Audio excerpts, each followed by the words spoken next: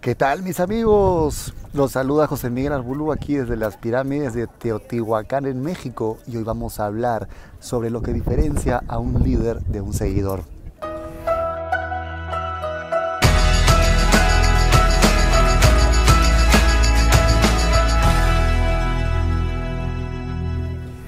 Estuvimos en mentoría con Randy Gage hace unos días aquí en la Ciudad de México y tuvimos ese espacio privado con él donde nos compartió lo que él entiende por liderazgo.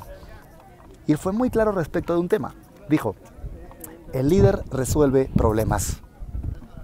El líder resuelve problemas. ¿Qué significa esto? Que Randy nos comentaba que en los equipos tú vas a encontrar dos tipos de personas. Las que señalan cuál es el problema y las que te traen la solución. Y Randy decía que el líder es justamente el que trae la solución.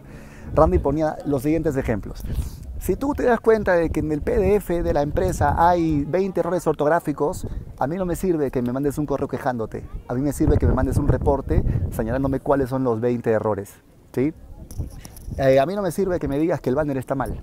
Me sirve que traigas una corrección para ese posible, para ese banner. Entonces, la idea del liderazgo y del crecimiento dentro de tu equipo, dentro de tu estructura, es que aprendas a resolver problemas. Ojo, Randy no decía resuelve problemas si los hay está por sentado que los va a haber porque para eso eres un emprendedor. El mundo de los negocios está lleno de, retos y de dificultades que justamente hacen que tengamos que atravesar eso y de poder crecer como empresarios y como equipo. Entonces, ¿cómo te estás comportando tú respecto de tu equipo? ¿Estás resolviendo problemas? ¿Estás siendo un problema? ¿Estás siendo alguien que está aportando al crecimiento? ¿Cómo es que te ves a ti y cómo es que tu gente te está viendo? Porque el problema no es tener un problema. El problema es si no creces tú más allá de eso. Así como pensar, por ejemplo, una construcción como esta, aquí en Teotihuacán, imaginarnos lo que significó construir todo esto. Imagínense, piedra por piedra durante tanto tiempo. Y es el trabajo de cada uno, y retos debieron haber muchísimos. Y miren este valle precioso que tenemos aquí atrás.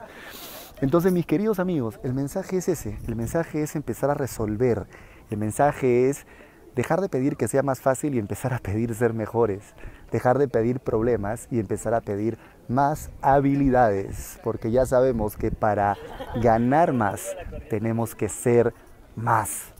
Si estás viendo este video en YouTube, suscríbete al canal, suscríbete a mi curso de 5 días sobre la mentalidad de networker profesional y comparte esto con toda la gente de tu equipo. Te mando un fuerte abrazo desde Teotihuacán. Cuídense.